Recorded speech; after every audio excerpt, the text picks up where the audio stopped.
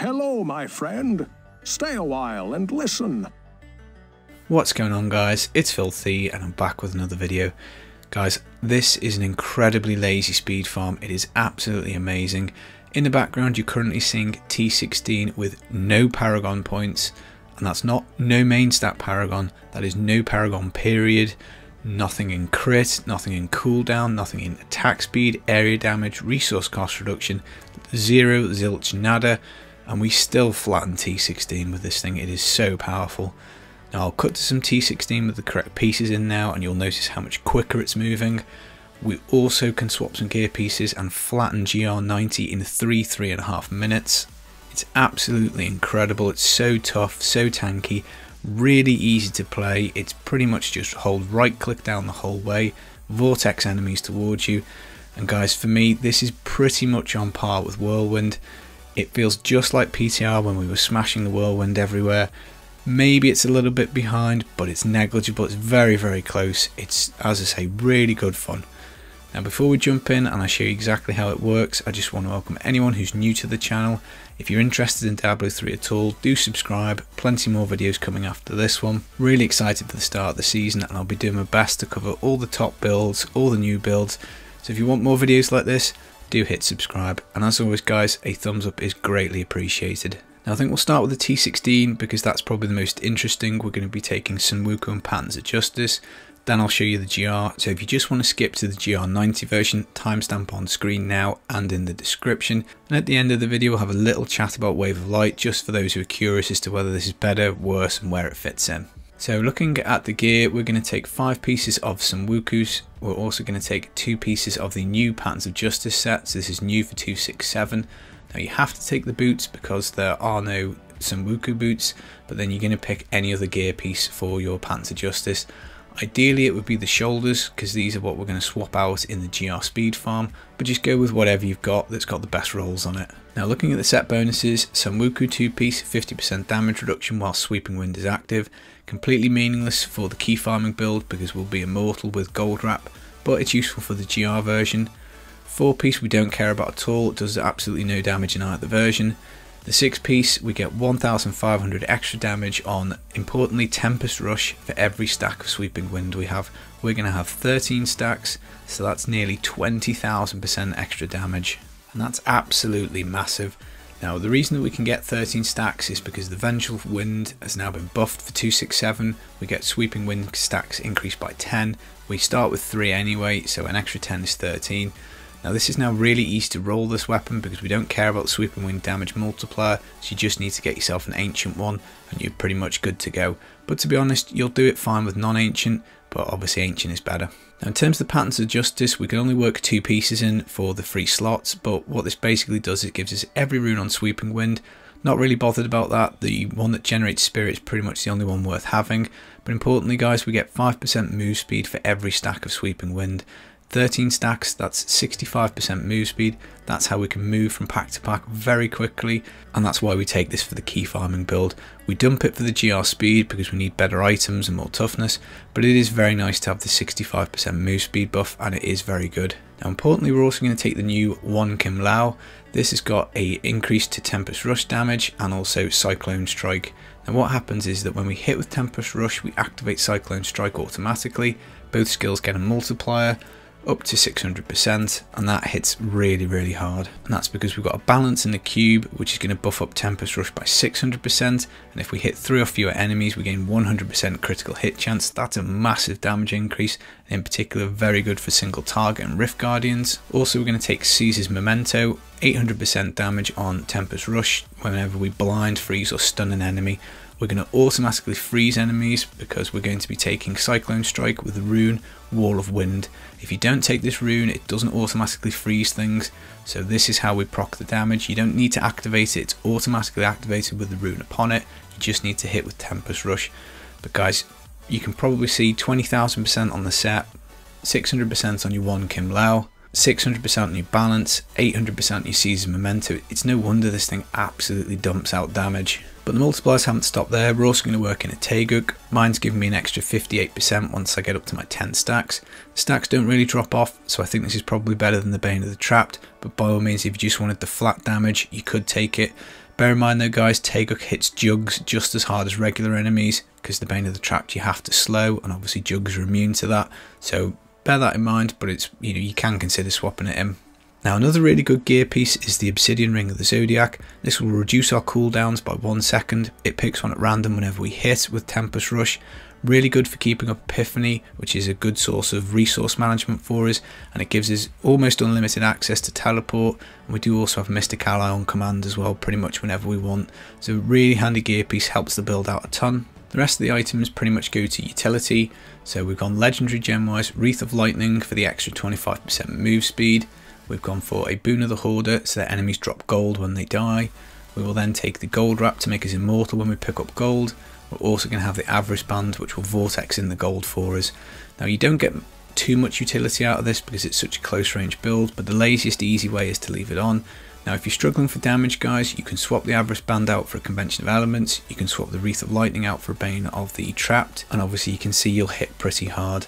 Now one thing I didn't mention on the weapon is if you notice its second property there, it always rolls with lightning skills damage. We're going to take the lightning rune on Tempest Rush, so we're going to get even more damage out of this weapon. And guys, this build just hits so incredibly hard. Lastly guys, as always, Nemesis braces to get extra elites and champions, and then we're going to take a RoRG in the cube to round out all of our gear slots. Now in terms of the skills, we're going for Tempest Rush, Electric Field. This is to get the most out of the weapon with the extra lightning damage. So you can get lightning damage on your weapon, braces and amulet, pretty huge damage spike. Mystic Ally, Air Ally, this will give us passive Spirit Regen, which is obviously very nice, and it is a Spirit Potion, just in case we accidentally hold down Tempest Rush too long and our Spirit depletes. But to be honest it's not too much of a problem but I wouldn't take it off because every so often you'll get a speed pylon boosting up your attack speed quite a lot and you might need to rely on this a bit more then. But resource generally isn't a problem but it's there and it's quite handy. Sweeping wind we need this because we'll have to activate the Sunwuko's bonus now pick whichever rune you want because you get all of them so it doesn't really matter Epiphany Insight, this will give us extra spirit regen. We want to numlock this so that it just goes off constantly. What we do is we hold down Tempest Rush. Whenever this is ready to be activated again, take your finger off Tempest Rush. Epiphany will auto cast and then whack your finger back on Tempest Rush again. Pretty easy. If you notice your spirit's going down, probably you've not activated this. So just pop it and off you go again. Cyclone Strike Wall of Wind, this is how we're getting the freeze for the Cesar's Memento. We don't need to cast it, which is great, so you don't ever touch this, just leave it, you don't want to press it at all, it just wastes spirit. And then we've gone for Teleport, Dashing Strike, Way of the Falling Star, extra move speed after we dash, you want to ideally dash once every 4 seconds, but you can just hold down Tempest Rush if you want, it's absolutely fine. Now this will be very useful for the season because it will make chaining enemies together a lot easier. You can dash 50 yards away and that's fine. I was playing around with Mantra of Conviction just to get extra damage and move speed and that works quite nice as well and it's one less button to press so it arguably is even more chill but I do think the clear times are faster with Dashing Strike just because having that mobility and being able to move 50 yards instantly is actually really nice. Now I'm sure someone's going to ask me about Sweeping Wind and Master of the Wind. This doesn't work too well because you have to have three consecutive seconds of sweeping wind before you freeze, so that's why we need Cyclone Strike. So it'd be amazing if this froze instantly, uh, but unfortunately it doesn't, so I will still take Cyclone Strike and take the rune on it. Passive wise, Beacon of Ytar, 20% more cooldown, amazing for Epiphany. Momentum gives us an extra 20% move speed pretty much at all times, very handy for getting keys and speed rifting. Relentless Assault, 20% extra damage against frozen enemies, all enemies will be frozen except for Juggernaut, so we may as well take it. And near death experience, just in case we do something wrong. This might go off at the start of the rift because until you kill something you are going to be squishy because you're relying on the Goldwrap for your toughness so it is handy but once you've killed one enemy because of the Avarice Band that's it you'll be away and you won't look back and probably won't use it again. Now in terms of stats you're going to want to get Tempest Rush damage on your boots and on your helm both quite important. You don't need any attack speed you want to get cooldown everywhere you can Area damage is nice, crit damage is nice, but as you've seen guys, I've shown you T16 with no Paragon, so I wouldn't sweat the stats too hard. Much more important to get the stats right for your GR build, which we'll move into now. Now for the GR build, as I say, GR90 in 3 minutes is amazing. It's still really easy to play and really tough and tanky. We're going to leave the cube exactly as it was, so balance, Cesar's Memento and the RoRG. We're actually going to switch out the POJ for Crimsons, so boots and belt. You're going to have to take belt for Crimsons and you're going to have to take boots as well.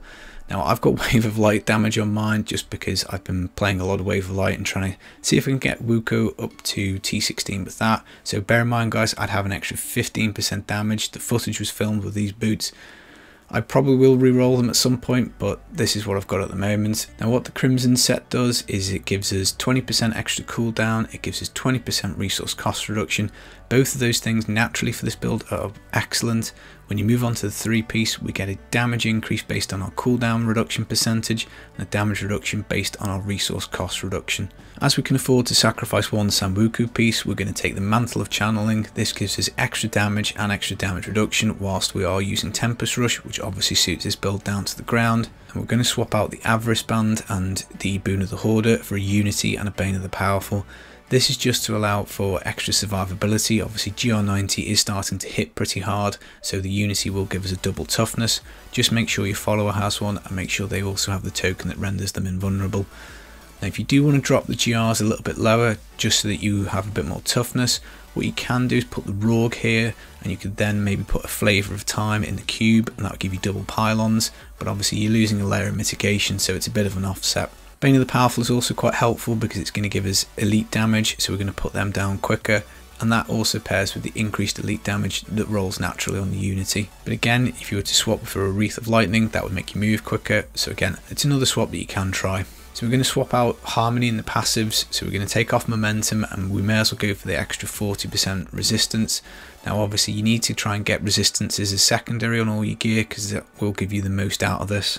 Obviously for gems at the moment, we've gone for dex gems in the chest and pants, but if you were to swap them out for diamonds, you get much more value out of your harmony and that would give you a nice toughness buff.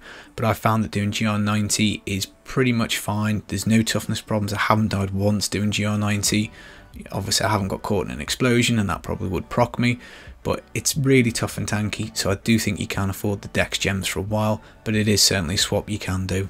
Now, in terms of Paragon, for the T16 one, if you find you're running out of Spirit, you can put some points into Maximum Spirit, but for the GR one, because you got the Crimson set, you don't need them. Obviously move speed up to 25%, and then I'd dump everything into Dex. For offense, cooldown reductions, obviously brilliant fill out your crits and then attack speed is last. For defense you want all res, life percent, armor and then life regen. Then utility, resource cost reduction definitely first, then area damage, life per hit and gold find. Now I have been using my full 1200 Paragon in the footage, but bear in mind guys, my sheet damage is only 1.3 million and my dex is only 12 and a half. You know, this gear that I've got isn't very well optimized. A few of the pieces are ancient, but most of them have got like vitality and armor rolls on them. You know, I'd want area damage on my shoulders. I'd probably want area damage on my gloves. Fine, I've got the odd augment here and there, but it's nothing crazy. It's, you know, most of this gear isn't brilliant. This weapon's non-ancient. My other weapon, I've got vitality on it. Again, not ideal. The percentage roll on my Tempest Rush could be higher. As we talked about, another 15% worth of juice to go on the boots, which would be nice. And you want to make sure you get lightning on your amulet and on your braces because obviously that's going to juice up your lightning damage quite a lot. So that's it guys, it's a load of fun to play, really chill, really easy. It's been very hard not to juice this up with loads of augments just to see how far it can go. With the season theme behind it and a lot of juice, you could be speeding hundreds in like three and a half, four minutes. It's absolutely incredible. A really, really strong build and I'm really pleased that this has worked out as well that it has. Now I did say we'd have a little chat about Wave of Light. Now for keys, I think Legacy Dreams Wave of Light would probably be quicker than the POJ Sunwuko Monk because you can infinitely teleport with that. But obviously that needs juicing up, you need your Legacy Dreams at 99, you need all your pieces as Ancient, and it's certainly not as chill as this because this is just super super easy.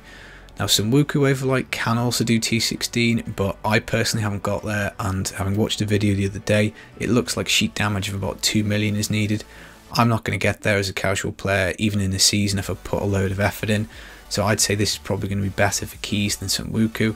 Again, in terms of speed rifting, I think this is probably going to be stronger than Wave of Light because it's just so easy and very, very quick. But again, obviously the right player on Wave of Light, the right augments, you know, it would be a nice battle, but I mean, GR19, three minutes, three and a half minutes, with the gear that we've got, with the stats that we've got, I do think is pretty, pretty strong. So that's the video, guys. I hope you enjoyed the build. I hope you enjoyed the video. Leave me a thumbs up if you did. I wish you all the best for season 19. I hope RNGesus is very kind to you. I'll catch you in the next video. Peace.